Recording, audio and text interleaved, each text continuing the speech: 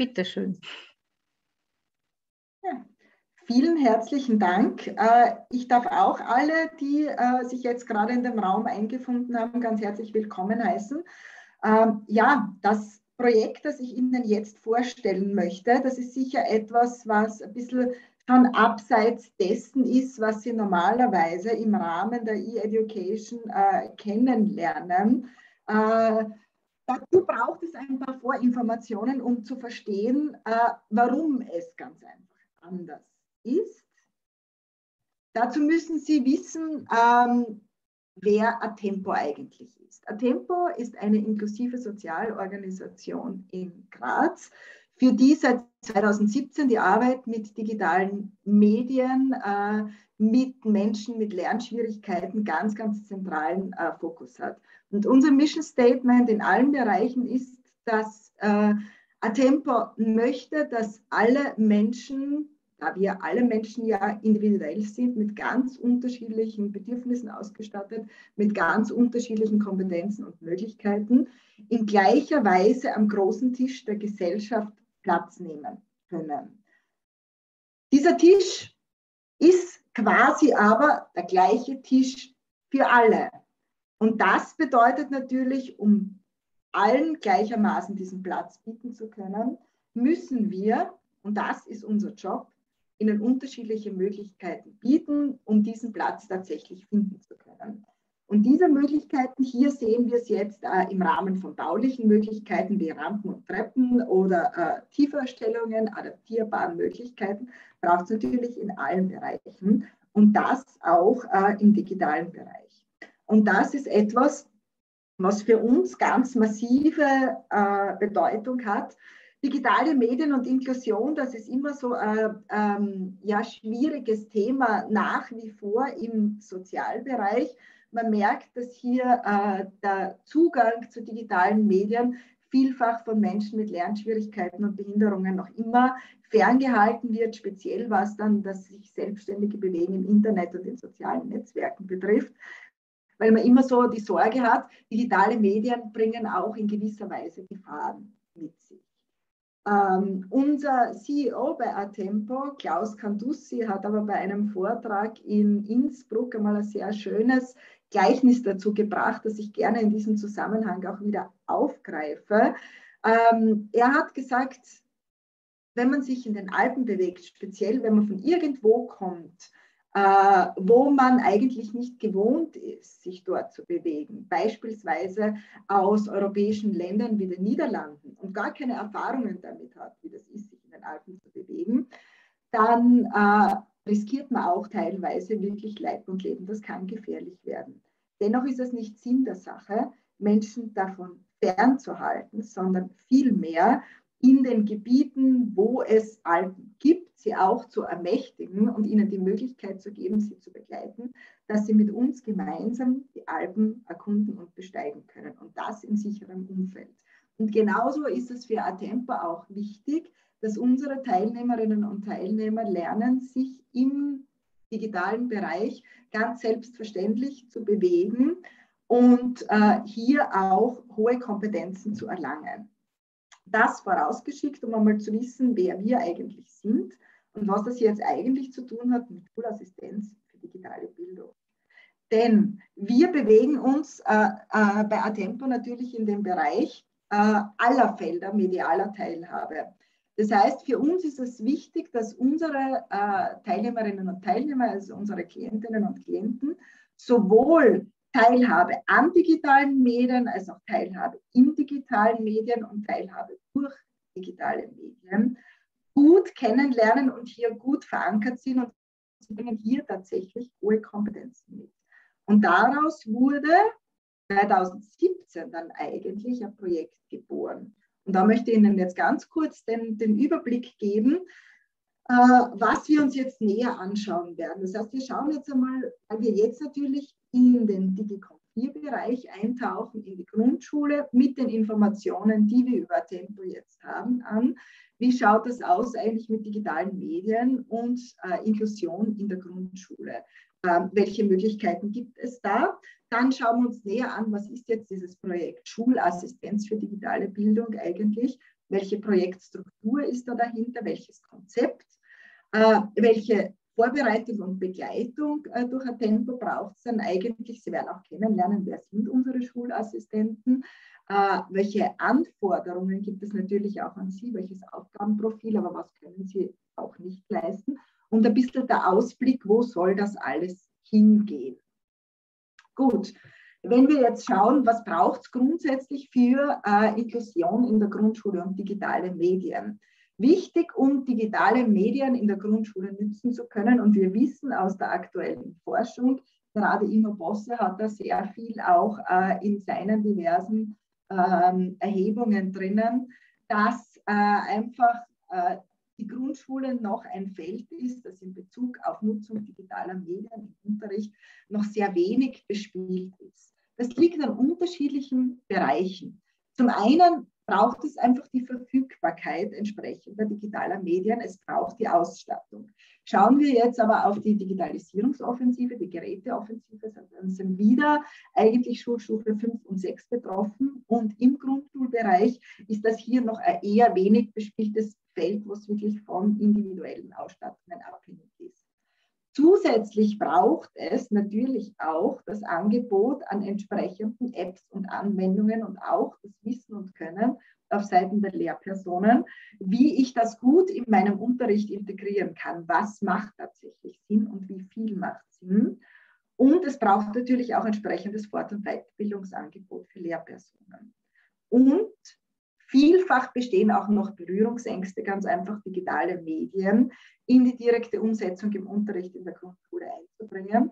Hier ist vor allem äh, individuelle Unterstützung ähm, notwendig und Hilfestellung. Und hier dockt dann tatsächlich unser Projekt an. Äh, welche Chancen gibt es ganz einfach durch den Einsatz digitaler Medien in der Grundschule? Digitale Medien heute bieten uns einfach die Möglichkeit, dass alle Kinder barrierefrei an Lern- und Medienangeboten teilhaben können. Und es gibt nicht mehr zwangsläufig die Unterscheidung, welche Technologien werden verwendet. Das heißt, dieser Aspekt der Stigmatisierung fällt eigentlich weg, dass ich mit speziellen assistiven Technologien arbeiten muss, weil ich sehr viel ganz einfach tatsächlich über ein simples iPad möglicherweise abdecken kann, das mit den integrierten Bedienhilfen es wirklich den Kindern möglich macht, dass sie an den Lern- und Medienangeboten nach dem Prinzip der Äquivalenz gleichermaßen teilhaben können. Die Arbeit mit digitalen Medien bietet einen sehr motivierenden Zugang zum Lernen. Ich habe aber auch viele Möglichkeiten der individuellen Förderung. Ich kann Lerninhalte besser differenziert aufbereiten, als wenn ich alles am Papier machen muss. Gleichzeitig passiert dadurch parallel neben der Arbeit mit digitalen Medien und dem Erwerb digitaler Kompetenzen auch altersgemäße Medienerziehung, weil ich die nie abkoppeln kann und darf. Und ich kann ganz unterschiedliche Kompetenzen der Kinder mit einbeziehen, weil ich ja im Prinzip nach dem äh, SAMR-Model und den Möglichkeiten, die hier zur Verfügung sind, in dem, nach den Prinzipien von Substitution, Augmentation, Modification und Redefinition, gerade im Bereich der Redefinition Möglichkeit habe, durch die Arbeit mit digitalen Medien Dinge zu gestalten, die durch andere äh, Medien im Unterricht so nicht möglich wären. Ich denke alleine dabei an die Erstellung von Videos und Filmen schon im Grundschulbereich. Ohne diese digitalen Medien wäre das nicht möglich. Was ist jetzt Ziel dieses Projekts Schulassistenz für digitale Bildung? Wir wollen zum einen digitale Medien, das Lernen mit digitalen Medien in den Alltag der Grundschule hineinbringen und hier aber auch individuelle Unterstützung und Support anbieten.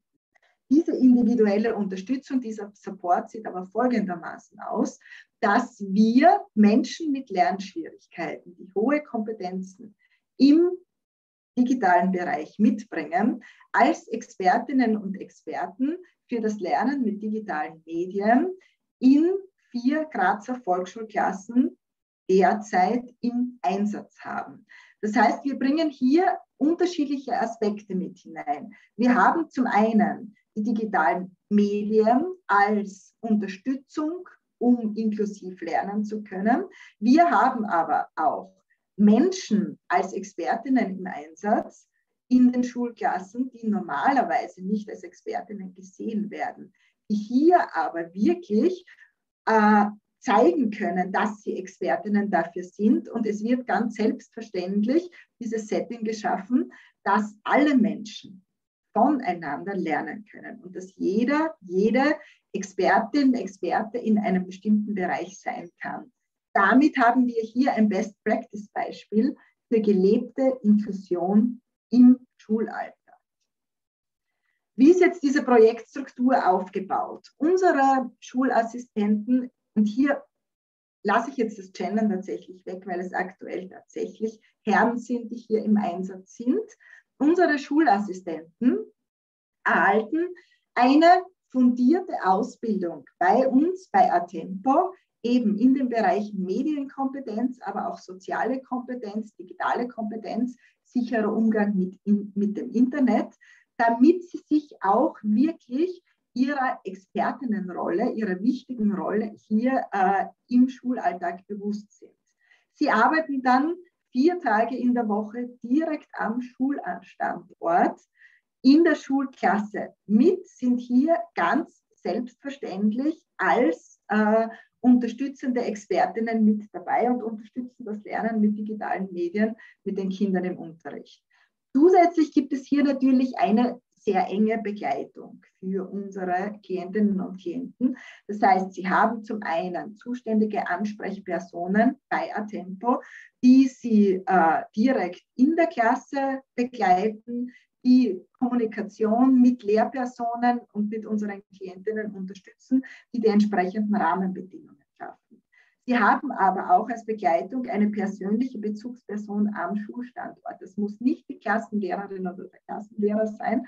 Das kann eine andere Lehrperson dort sein oder die Schulleitung, wo einfach äh, dieser persönliche Kontakt gut passt. Und zusätzlich gibt es noch die Begleitung in unserem Netzwerk, das wir sowieso bei Atempo haben. Jede Teilnehmerin, jeder Teilnehmer wird äh, ganz intensiv begleitet von Jobcoach und zugeordneten Trainer, zugeordneter Trainerin. Und hier gibt es einmal im Semester auch fix definierte ähm, Entwicklungsgespräche, die mit Schule und mit dieser sogenannten Triade, also Schulassistent, ähm, Jobcoach und Trainer stattfinden bei Bedarf natürlich auch entsprechend öfter. Was sind jetzt Inhalte dieses Ausbildungskonzepts? Zum einen eben ein immer im Bereich der Medienkompetenz, es einfach darum geht, unsere Schulassistenten sind hier die Experten und Expertinnen, die täglich oder vier Tage in der Woche in der Schulklasse vor Ort sind.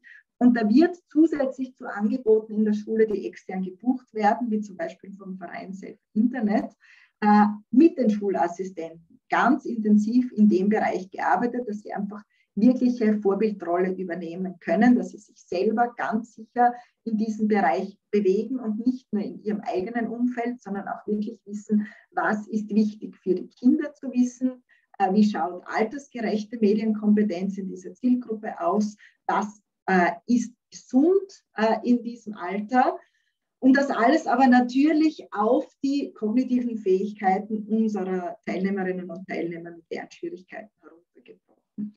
Im Bereich der digitalen Kompetenz ist es so, dass unsere Schulassistenten alle die digitalen Basiskills mitbringen, die für Digicomp 4 und Digicomp 8 wichtig sind. Alle haben auch den ECDL gemacht und haben persönlich hohe Affinität in diesem Bereich. Im Bereich der sozialen Kompetenz stellt es natürlich eine große Herausforderung auch für unsere Klientinnen und Klienten dar, da sie äh, manches Mal ganz einfach vielleicht Kommunikationsfähigkeit und Teamfähigkeit zu Beginn noch nicht in dem äh, Ausmaß mitbringen, wie es vielleicht im Schulalltag gefordert ist. Hier ist dann ein ganz großes Lernfeld auch für unsere Klientinnen und Klienten, weil das natürlich im Schulalltag mit den Kindern auch ganz selbstverständlich trainiert wird. Und zusätzlich entwickeln wir mit unseren Klientinnen und Klienten gemeinsam eine, wir nennen es Toolbox, also wir entwickeln ganz, ganz viele Materialien rundherum, um die Arbeit im Schulalltag in ihren Klassen bedarfsgerecht, so wie sie es brauchen, seien das Erklärkarten, seien das Materialien in der Arbeit mit Bluebots und Bebots in den Klassen, äh, damit sie auch diese als Hilfsmittel zur Verfügung haben. Wer sind jetzt unsere Schulassistenten? Darf ich Ihnen kurz vorstellen, das wäre zum Beispiel Philipp. Philipp ist 20 Jahre alt, macht das jetzt schon seit 2017, also war eigentlich so quasi unser Pionier in diesem Bereich. Und er sagt für sich selbst, dass es ganz, ganz wichtig ist, für ihn einfach auch den Umgang mit den Kindern und den Umgang mit anderen Menschen in diesem Umfeld zu lernen. Im digitalen Bereich fühlt er sich ja sehr sicher.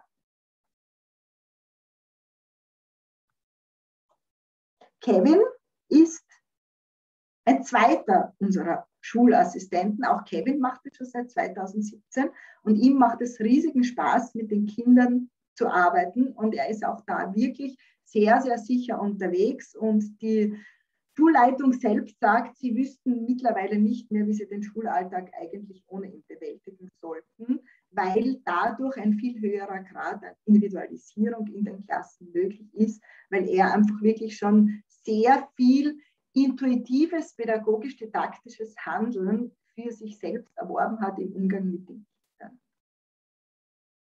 Patrick ist seit 2018 mit dabei. Er arbeitet äh, besonders gerne eben im Strategiebereich, gerade mit den, mit den Apps wie beispielsweise Osmo, äh, um den Kindern hier äh, wirklich ähm, ja, anderes Denken zu vermitteln und sie da noch ganz anders anzuregen. So, das war jetzt leider ein Fehler, die eine Folie war falsch drinnen. Äh, Bastian ist der vierte bei uns im Team. Auch er arbeitet gerne mit den unterschiedlichen Ausbauprogrammen, vor allem mit Coding, äh, weil es ihm besonders viel Spaß macht, den Kindern auch Coding näher zu bringen. Grundsätzlich ist es natürlich so, äh, dass all das, was unsere Schulassistenten im Schulalltag mit den Kindern machen, in ganz enger Absprache mit der Schule passiert. Das heißt, wirklich bedarfsorientiert auf das, was im Unterricht äh, gebraucht wird und sie sich auch ganz intensiv darauf vorbereiten. Wie werden sie jetzt durch ein Tempo begleitet? Es gibt eben dieses eigens konzipierte Lernangebot, das wir zu Beginn schon gesehen haben. Dann gibt es den intensiven Austausch und auch immer die individuelle Begleitung zusätzlich die Rahmenbedingungen, die unsere Schulassistenten brauchen. Das ist eben zum einen diese persönliche Bezugsperson aus dem Lehrkörper, klare zeitliche und inhaltliche Strukturen zur Orientierung im Schulalltag, den regelmäßigen Austausch äh, mit den Klassenlehrerinnen und der Bezugsperson. Feedback ist ganz, ganz wichtig für Sie und gemeinsame Reflexion, weil Sie sich natürlich ständig weiterentwickeln wollen und Ihre Arbeit besser machen wollen. Es braucht klare Kommunikation auf gemeinsam festgelegten Kommunikationsstrukturen und Medien. Und ganz klar ist natürlich, wir sprechen hier bei den Schulassistenten immer von Menschen mit Lernschwierigkeiten. Das heißt, diese Aufgabenfelder dürfen Sie fordern, aber Sie dürfen sie nicht überfordern. Ich muss immer gut im Blick haben, was für Sie möglich ist. Hier ein paar Bilder für Sie noch aus dem Schulalltag. Das ist wirklich gelebter Schulalltag, wo unseren Schulassistenten im Rahmen des Unterrichts ganz eigene Arbeitsfelder immer zugedacht werden und sie mit den Kindern alleine arbeiten. Das ist ganz klar im rechtlichen Sinne, könnten sie nie ganz alleine für die Kinder Verantwortung übernehmen, weil das natürlich nicht gedeckt ist. Aber sie sind mittlerweile einfach zentraler Teil des Unterrichts mit digitalen Medien in diesen Schulklassen. Und wenn wir jetzt so, gehen wir dabei noch auf diese Folie zurück, die ist ein bisschen netter, weil ich eben sagen wollte, wie schaut es aus mit dem Ausblick. Der wirklich große Grad der Unzufriedenheit derzeit an diesem ganzen Projekt ist, dass das Schulsystem es einfach nicht zulässt, dass, ich meine, Sie haben gesehen anhand der Jahreszahlen, unsere Schulassistenten sind teilweise schon seit vielen Jahren mit dabei und unterstützen zentral im Unterricht und das vier Tage in der Woche. Was sie allerdings natürlich im Rahmen des schulischen Settings nicht bekommen, weil es nicht vorgesehen ist, ist eine finanzielle Abgeltung in irgendeiner Form. Das heißt, Beschäftigungsmöglichkeit mit tatsächlicher Bezahlung ist es leider bis heute noch nicht. Daran arbeiten wir intensiv. Da steht uns einfach vieles von den politischen Strukturen her noch im Weg. Deswegen haben wir jetzt gerade mit 3. November, das war wieder der neue, äh, das neue Einreichdatum in dieser Programmperiode eben für dieses Jahr, äh, beim zweiten Einreichtermin tatsächlich das Projekt SAID, School Assistance Inclusive Digital, eingereicht als Erasmus-Projekt mit Partnern aus Finnland, aus Irland und aus Bulgarien mit ganz unterschiedlichen äh, ja, ähm, aktuellen Situationen, was die digitale Entwicklung, aber auch Inklusion bei Ihnen im Land betrifft. Und wir wollen hier gemeinsam versuchen, im europäischen Standard eben ein Curriculum für Europa zu entwickeln, für diesen Ausbildungsbereich, dass Menschen mit Lernschwierigkeiten tatsächlich auch im Bildungssetting, im digitalen Bereich, im Schulalltag als ganz wertvolle Experten angesehen werden können. Und das soll jetzt im Rahmen von 30 Monaten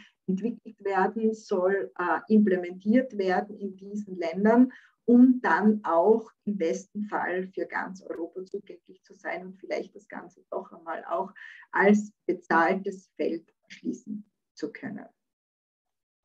Bleibt noch ganz kurz die Zeit für Anregungen, Fragen, Diskussionen zu diesem Thema. Ich würde mich freuen. Melden Sie sich ganz einfach, dass wir uns auch darüber unterhalten können. Vielen Dank. Ein sehr interessantes ähm, Thema, das nicht nur in der Steiermark quasi ähm, bleiben sollte? Das ist gleich meine erste Frage.